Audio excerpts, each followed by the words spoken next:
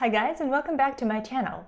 Today we'll be speaking about the gerund. The gerund is a non-finite form of the verb, very common in English, that competes in a manner with the infinitive, which we discussed in our previous lesson. You can watch that lesson following the link in the description to this video. To begin with, let's specify what the main characteristics of the gerund are. The gerund is a non-finite form of the verb that in a sentence functions as a noun. It is formed by adding the suffix ing to the stem of the verb. In its form, the gerund coincides with participle 1, also known as the present participle. The gerund has double nature, it possesses both nominal and verbal characteristics. Let's talk a little bit about the form of the gerund, the way it is formed, before we dive deeper into the topic. So, as you already know, the gerund is formed by adding the suffix ing to the stem of the verb. However, the end in ing can be seen in different contexts, not only in different verb forms, but also in verbal nouns and adjectives. Look at the word painting. By merely looking at this word, you cannot say if it is a gerund. Let's try to put this word into a context. The painting is finished. Jane likes painting. Painting is my hobby. I like painting. The first two examples contain verbal nouns. How can we say that? Well, by looking at what precedes it. In the first sentence, the article the precedes the word painting, so we see that this is a noun. The painting is finished. In the second case, it's a demonstrative pronoun.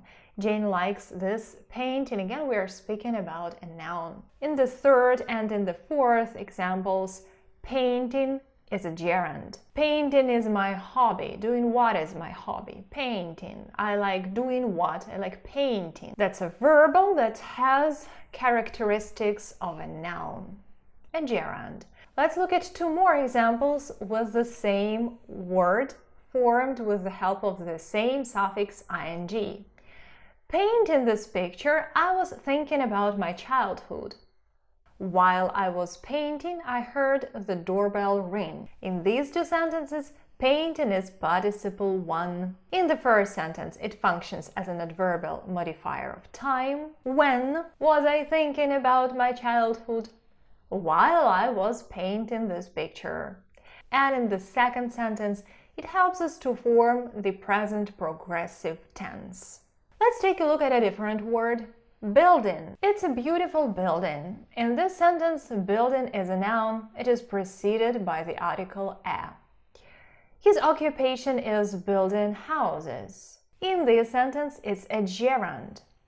Building this house, we learned a lot. Here, it's a participle 1. And prices for building materials are growing. In this case, building is an adjective. It modifies the noun materials. So looking at these examples, we can conclude that the suffix ing can be used to form not only the gerund but also other things, other verb forms, verbal nouns, adjectives. So we have to pay attention to where we find the ing form in the sentence. As I have already mentioned, Gerunds have double nature, so they have something of a noun and something of a verb. Let's first speak about nominal characteristics of the gerund, that is, what common features it has with nouns. The nominal properties of the gerund are the gerund can perform the function of subjects, objects, and predicatives. Examples Eating junk food ruins your health. Gerund here functions as the subject of the sentence. Some people like fishing. Here, gerund is the object. My brother's favorite occupation is sleeping. In this sentence, gerund functions as the predicative. It is a part of a compound nominal predicate is sleeping. Another nominal property of the gerund is that it can be preceded by a preposition, just like nouns, right? Thanks for letting us know. Alan insists on doing everything himself. I'm thinking of going to the cinema tonight. My friend is good at working with clay. Michael is proud of having studied at Oxford. Another nominal property of the gerund is that it can be modified by a noun in the possessive case or by a possessive pronoun like nouns. For instance, I don't like your going to the concert without me. Pay attention that it's not you, but you're going to the concert without me. His leaving without saying goodbye was rude and disrespectful. Again, it's not he, not him, not the nominative case, not the objective case, it's his. We use the possessive pronoun. Anne hates her boyfriend's working so late. Here, the noun boyfriend is in the possessive case. Her boyfriend's working so late. Frank couldn't find an excuse for his parents leaving him. The same parents is in the possessive case. If we replace the gerunds here with some nouns, the pronouns and nouns that precede them will retain the same possessive form. Let's do that. I don't like your departure, for instance, and hates her boyfriend's work. Frank couldn't find excuse for his parents' betrayal. Please note, though, that in some informal contexts you will hear a noun in the nominative case used in front of a gerund. You will not find such sentences in formal writing, and using the nominative case or the objective case in front of a gerund is not a habit that I want you to acquire. So let's remember that the gerund can be modified by a possessive pronoun or a noun in a possessive case, and that's it. These were the nominal characteristics of the gerund. Now let's talk about its verbal characteristics, or what things the gerund has in common with verbs. The verbal properties of the gerund are the gerund of transitive verbs can take a direct object. For instance, Francesco has made a good progress in speaking German. Anthony didn't like studying chemistry at school. I wish I could stop forgetting people's names. I'd rather you stopped using the word kinda in every sentence. Sam started singing her favorite song. Learning languages has a lot of advantages. In all of these sentences, gerunds take direct objects. By the way, why are we talking about transitive verbs only? Because intransitive verbs cannot take a direct object. For instance, an intransitive verb is to arrive. How can you add an object to this verb? You cannot say to arrive what, but you can say to speak what, to study what, to forget what, to use what, to sing what, to learn what, etc. Another verbal characteristic of the gerund is that it can be modified by an adverb like other verbs. Working out regularly will help you stay fit. I don't like speaking loudly when there is no need. She burst out crying bitterly. So, regularly, loudly, and bitterly are adverbs that modify our gerunds. And one more verbal property of the gerund the gerund has tense distinctions. The gerund of transitive verbs has also voice distinctions. Let's see. I don't enjoy going to the dentist. Peter doesn't like being asked about his plans. Thank you for having lended me your car. They regretted having been deceived. In the first sentence, going is a simple active gerund. In the second sentence, it's a passive simple gerund.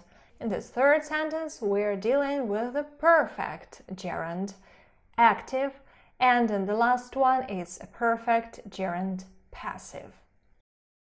Let's take a closer look at the forms of the gerund.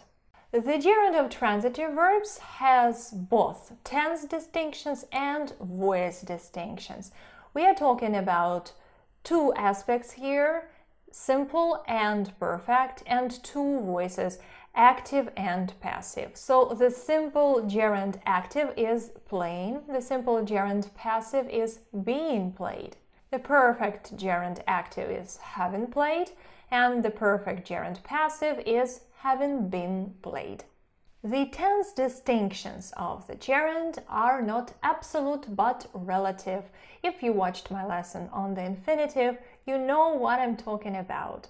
When we speak about relative tense distinctions, we speak about how the non-finite form of the verb is related to the action of the main verb whether it happened prior to it or was simultaneous with it. Let's take a closer look. The tense distinctions of the gerund are not absolute but relative. The simple or indefinite gerund denotes an action simultaneous with the action expressed by the main finite verb. Depending on the tense form of the main verb, it may refer to the present, past, or future.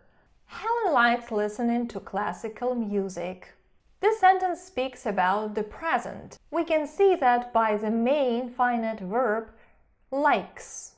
Our simple gerund here expresses the same tense. We are in the present.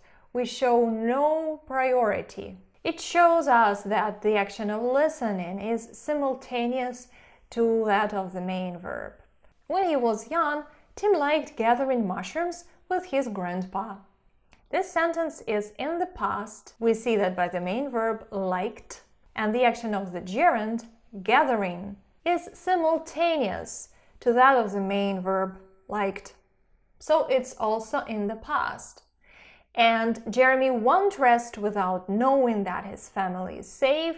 Here we speak about the future. Again, we can say that by the main verb, will not rest. The predicate is in the future and the gerund is also speaking about something that is yet to come, so it expresses an action simultaneous with the action of the main verb. This is what the simple gerund does. Let's now look at the perfect gerund. The perfect gerund denotes an action prior to the action of the main finite verb. I am ashamed of having been so naive.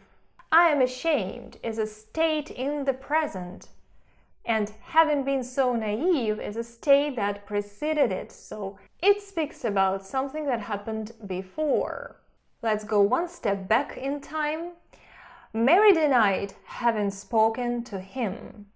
Mary denied is an action in the past, and having spoken to him is an action that preceded it. So it goes even further back in time. And let's take one more step back in time Jane had been crying out of anger at having been so easily deceived. We see that she had been deceived even earlier, yes, that she had been deceived before she had been crying. Jane had been crying is an action in the past that preceded another action. This is why we use the past perfect tense here, yeah, so we can imagine a context. The sentence is from where we previously spoke in the past simple and to denote that this was an action that happened before the past simple, we use the past perfect. The past perfect continuous in our case. And this haven't been so easily deceived is an action that preceded the past perfect. So in all of these examples, we see actions that happened prior to the actions of the main verbs. This is why we need the perfect gerund to show that priority, to show that we are dealing with something that happened before the action of the main verb. Let's compare these two sentences. Sue regretted not learning Spanish and Sue regretted not having learned Spanish.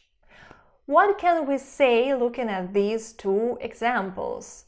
What is the difference between them? Well, obviously the difference is that in the first case we use the simple gerund, whereas in the second one we use the perfect gerund. What information does it give to our interlocutor, to our listener or reader? While in the first case our interlocutor understands that Sue regretted that she didn't know Spanish, that these actions were simultaneous and in the past.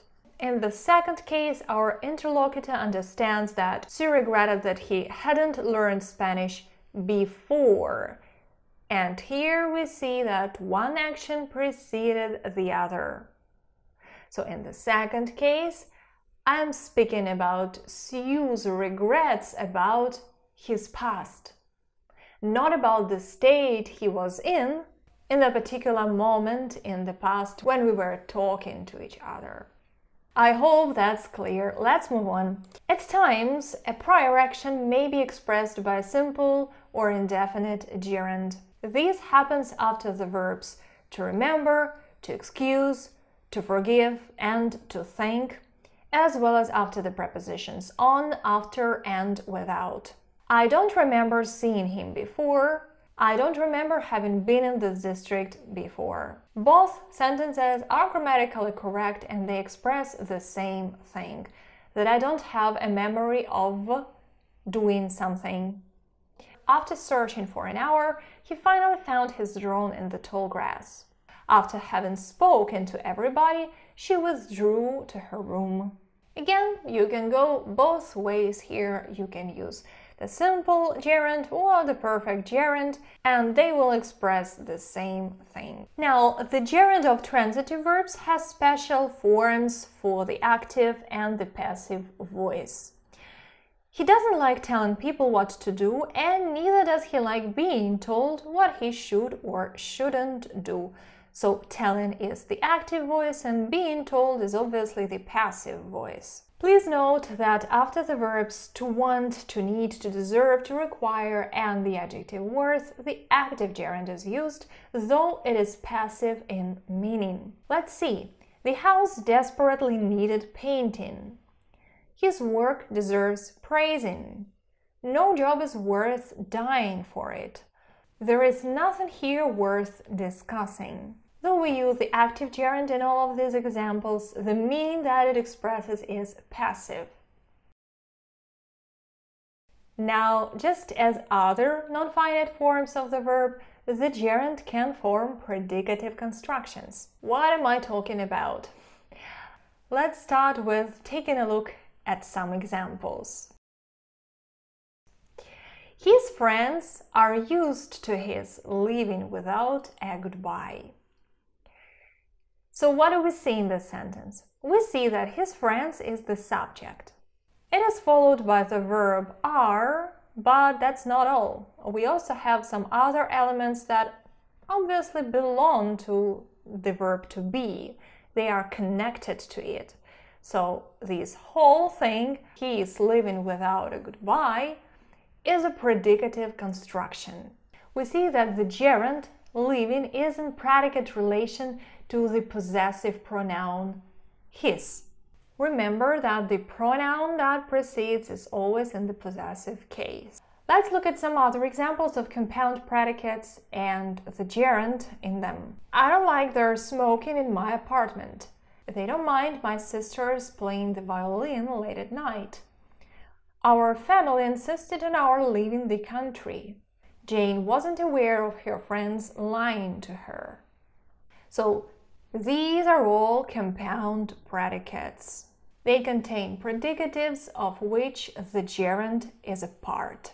Sometimes the nominal element of the predicative construction may be expressed by a noun in the common case or by a pronoun in the objective case. This is something that I want to stress because you might see such sentences somewhere or you might hear them from people around you. They are just not very good English because this is not something that you would use in formal writing. We celebrated our friends winning the contest and we celebrated our friend winning the contest.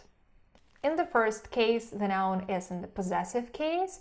In the second case, it is in the common case. He objected to my going there alone, and he objected to me going there alone. The pronoun in the first example is possessive. The pronoun in the second example is in the objective case. But again, I want to stress that this is not a very good language habit. Let's now talk about the functions of the gerund in a sentence.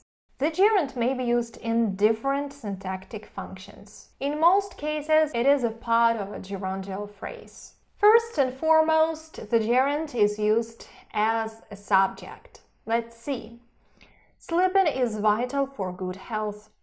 Growing your own food is very rewarding. Fishing with nets is illegal in many regions. Eating vegetables improves your body's digestive system. In all of these examples, the gerund functions as the subject of the sentence. The gerund used as a subject not only can precede the predicate, but it can also follow it. In this case, the sentence starts with the introductory it or with there is. Here I have a lesson dedicated to untypical word orders in English where I explain the phenomenon of this introductory it or the dummy subject. So you can check that video if this is something that you don't know or you want to revise. Let's now look at the examples of the gerund used as a subject after the predicate. It is no use reading this article. There is no point in arguing. If a thing is worth doing, it's worth doing well. The last sentence is an English proverb. Why do we say that the gerund is the subject here? Let's paraphrase the first sentence. Reading this article is of no use or is useless. So the true subject of the sentence is reading this article. There is no point in arguing. Arguing is pointless. Please know that there is a different approach or a different view according to which uh, it is the subject of the sentence and the rest of it is a predicate. The gerund can be used as a part of a compound nominal predicate. In a compound nominal predicate, the gerund functions as a predicative. So what is a compound nominal predicate?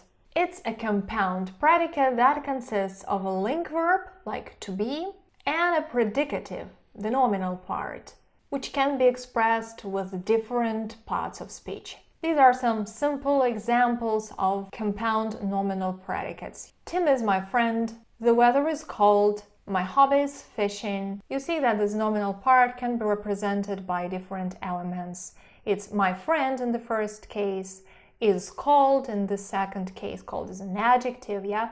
And my hobby is fishing is the gerund. So the gerund can be used as a part uh, of the compound nominal predicate. Let's look at more examples with the gerund in this role.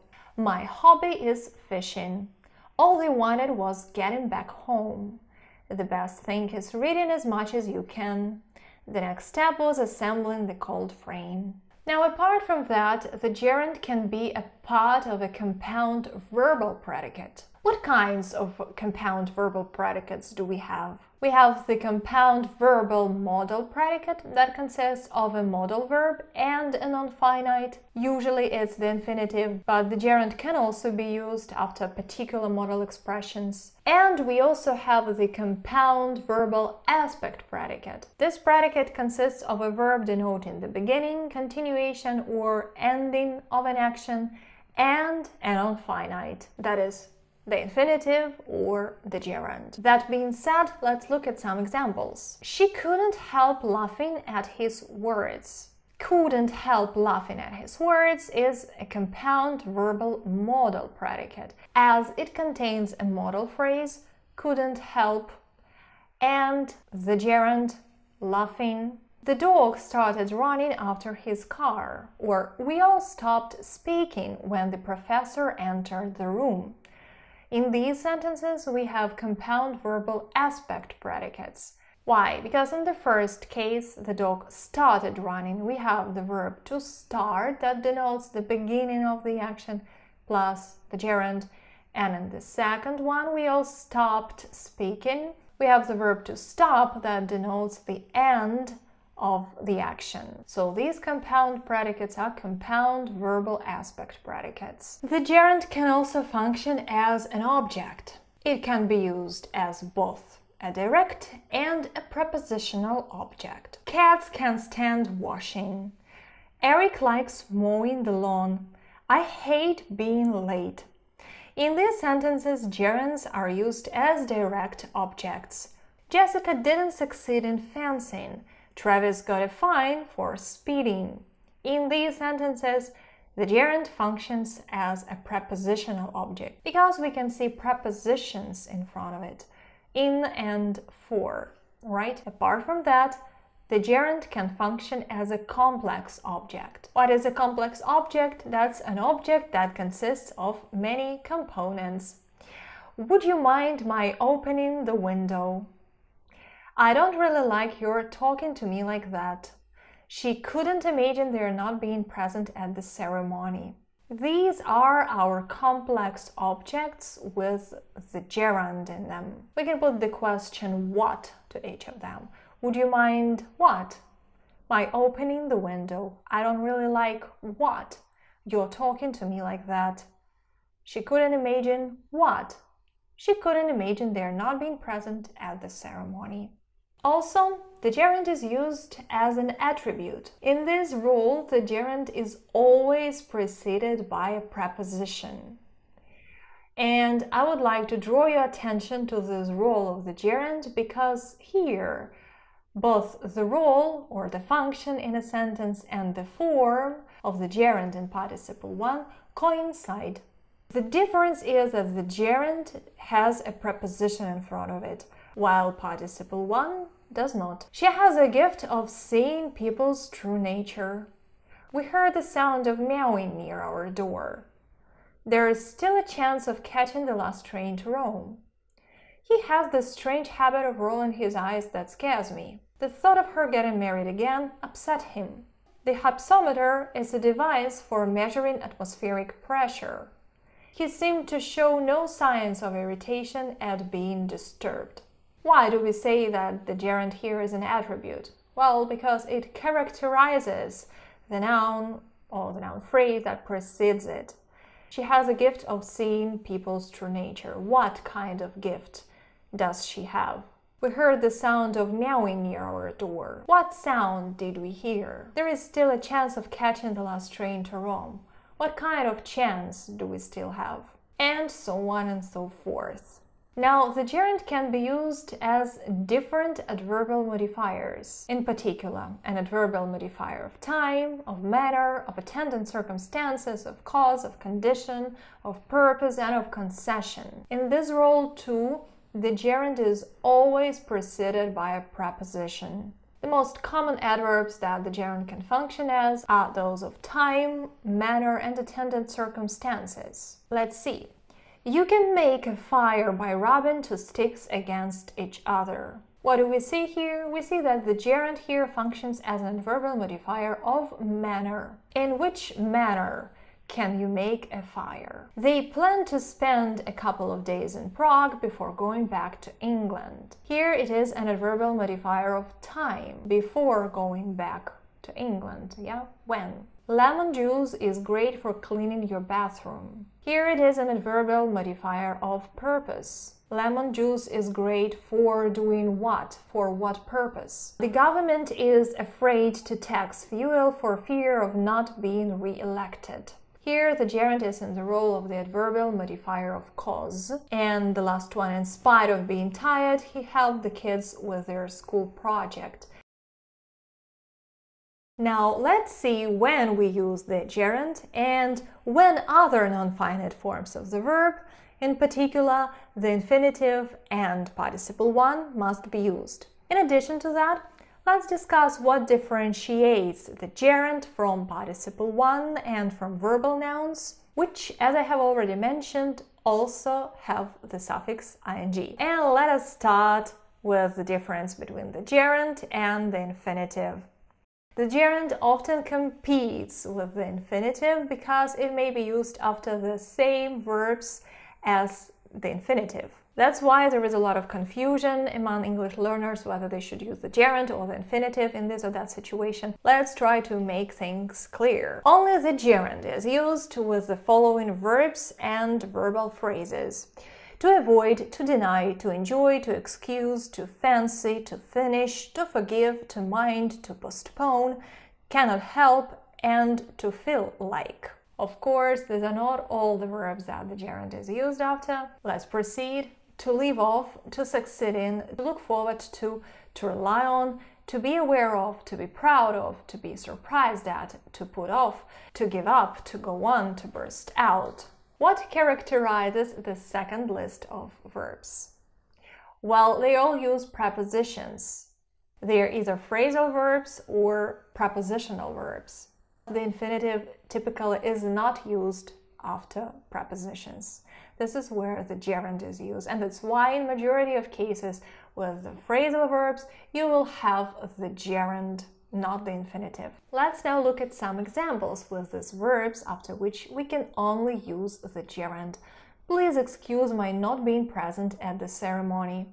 She denied having fed the dog with that fish. He always avoided being asked about his sister. I don't mind your going out with my cousin. Jane doesn't feel like leaving yet.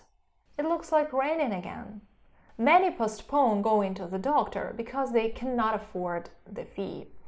Alex never forgave his wife's lying to him. Instead of the gerund, a subordinate clause can be used, but not the infinitive. Please excuse my not being present at the ceremony can be paraphrased into Please excuse me that I wasn't present at the ceremony. She denied having fed the dog with that fish. She denied that she had fed the dog with that fish, and so on and so forth. I want to draw your attention to the modal phrase cannot help. Look at this sentence. My God, I cannot help listening to this song. That means that the song is so catchy that I cannot stop listening to it. I listen to it again and again. But we have a different expression in the language, and that's cannot help but. And this expression is followed by the infinitive. Let's see. I can't help but listen to this song.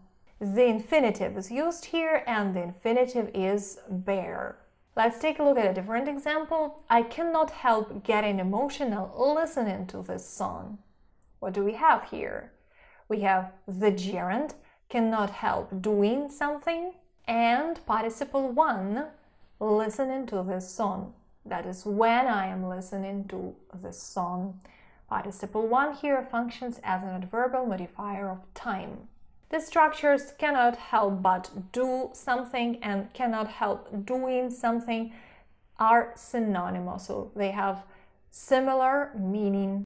Now, after some verbs, both the gerund and the infinitive can be used. These verbs are to be afraid, to begin, to start, to stop, to continue, to seize, to like, to dislike, to prefer, to fear, to hate, to intend, to recollect, to remember, to forget, to try, can or cannot afford. There may or may not be a difference in meaning. For example, there is no difference in meaning with the verbs to begin, to start, and to continue. Let's see.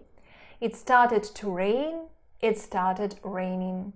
The sentences express the same thing. Anne continued to eat as if nothing was going on, and Anne continued eating as if nothing was going on. The sentences are equal, the ideas that they express are similar. With some verbs, the infinitive is mostly used with reference to a special occasion, while the gerund is used in general statements. Let's see. Michael was never afraid of voicing his opinion.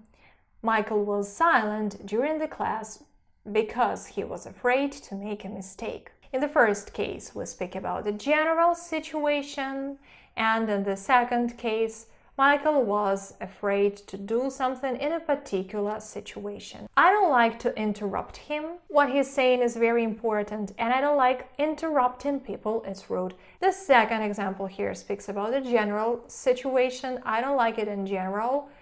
I don't like to interrupt him. The first example speaks about a particular situation in which I don't want to do that. I want to interrupt him in a particular situation. Let's look at this sentence. I don't like getting bills, but when I do get them, I like to pay them ASAP.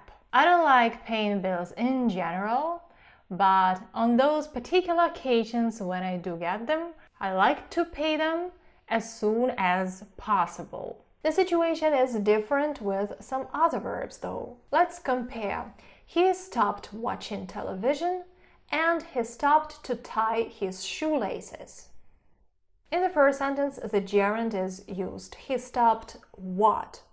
The sentence means that he quitted watching television. He watches TV no more. In the second case, the infinitive is used, and the question we can put to the sentence is with what purpose did he stop? He stopped in order to do what? He stopped in order to tie his shoelaces. The sentence means that he made a pause. He stopped walking for a little while in order to tie his shoelaces. So as you see, these two sentences are completely different. They express completely different ideas. Let's take a look at two more examples. She stopped drinking coffee. She stopped what? She quitted what, right? And he stopped to buy an espresso. Why did he stop? With what purpose did he stop? He stopped in order to buy an espresso. Let's take a look at several more cases when the verb that precedes our non-finite is the same, but the meaning will change depending on whether it is the gerund or the infinitive. There will be a separate video on this channel dedicated to uh, the differences between these verbs. In today's lesson, I just want to illustrate some cases which present a particular difficulty for English learners. Uh, we're running low of water. Please don't forget to order water delivery. And this delivery is a pleasant surprise. I completely forgot ordering it. The finite verb in both of the sentences is the same, though in the first one we use the infinitive, whereas in the second we use the gerund. The first sentence speaks about the future, things that are yet to come that we need to remember to do in the future. The second sentence speaks about a memory. I forgot that I had ordered that something. I don't have a memory of ordering it. Though I was in a hurry, I remembered to water the cacti. I remember speaking to Jane yesterday morning. Again, the finite verb is the same, but the non-finites are different. I remembered to water the cacti means I didn't forget to water them. This is what I did. And in the sentence, I remember speaking to Jane yesterday, we are again speaking about a memory. I remember what? That I spoke to her yesterday. I'm sleepy all the time. Try going to bed before 10 p.m. I tried to fix the tap myself, but nothing came out of it. To try doing something means to experiment with something just in case it works. And try to do something implies an effort when you try to do something, like in this case, when you try to fix the tap, you put an effort in doing it. And usually the result of the action we are talking about is negative, like I tried to do this or that, but it didn't work. What would be the difference between the gerund and participle 1 then? The forms of these two Verbals are the same. We add the suffix ing to the stem of the verb, but their functions are different. The gerund is a verbal that is used as a noun. Consequently, in a sentence, the gerund performs all the functions that a noun can perform. I can't stand their yelling at each other. Jane apologized for her son's behavior. Learning languages may be fun, he doesn't like talking to strangers. Her hobby is dancing. So we see that the gerund in all of the sentences performs the same functions as nouns do. In the first and in the second sentences, the gerund is used as an object. I can stand what, or Jane apologized for what. In the third sentence, it's the subject of the sentence. He doesn't like talking. Again, it's an object. He doesn't like what in the last sentence, her hobby is dancing. The gerund is a part of a compound nominal predicate here. Now, participle 1 acts like an adjective. Consequently, in a sentence, it functions as an attribute or as an adverbial modifier. Everyone was staring at the yelling man. Hearing his steps, she ran to the door. You'll say, wait a minute, but the gerund can also be used as an attribute and as an adverbial modifier. Yes, it can. For instance, like in our example, we heard the sound of meowing near our door. But the gerund in the function of an attribute as well as in the function of an adverbial modifier is always preceded by a preposition, while participle 1 is not. For example, when it's an attribute, it's typically preceded by of, like in this example with meowing. We heard the sound of meowing near our door. What kind of sound, right? Of meowing. When it's an adverbial modifier, it can be preceded by several different prepositions. Like in these examples, lemon juice is great for cleaning your bathroom in spite of being tired. He agreed to help us, and in this one, after hearing the news, they changed their plans for the weekend. Now let me paraphrase the last example using participle 1. I will drop the preposition and we'll have here in the news they changed their plans for the weekend. Now the sentence contains participle 1 and not the gerund. So once again, hearing his steps, she ran to the door. Doing what? Hearing his steps, participle 1. But after hearing the news, they changed their plans for the weekend. After what? After hearing. The gerund is used. Now, what is the difference then between the gerund and the verbal noun? First of all, what is a verbal noun? It's a noun created from a verb. Let's look at these examples. He enjoyed her singing very much. Her beautiful singing won his heart. In the first case, we're dealing with the gerund. He enjoyed her singing very much. In the second case, singing is a verbal noun. Her beautiful singing won his heart. Let's take a look at a couple of different examples. The stealing of classified information is a crime. I know Jane isn't capable of stealing anything.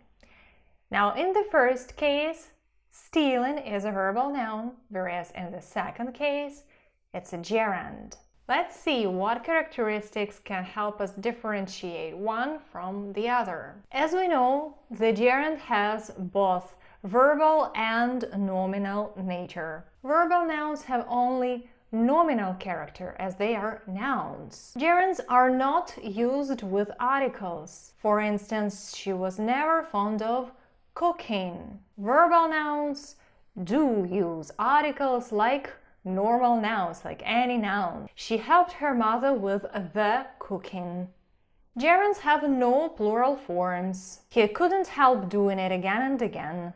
Verbal nouns, of course, do have plural forms, like many other nouns. They close their eyes on his wrongdoings the gerund of transitive verbs may take a direct object. I gave up reading that boring book. I gave up reading what? Verbal nouns can only take a prepositional object with the preposition of.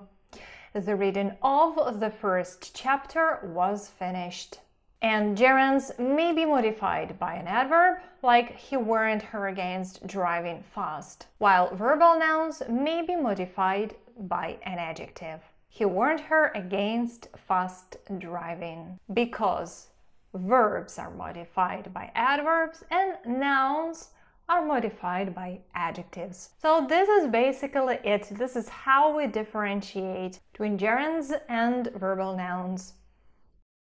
That's all for today. If you feel that my lessons help you and you want to support me, you can do it here or following the link in the description to this video. I will appreciate that very much.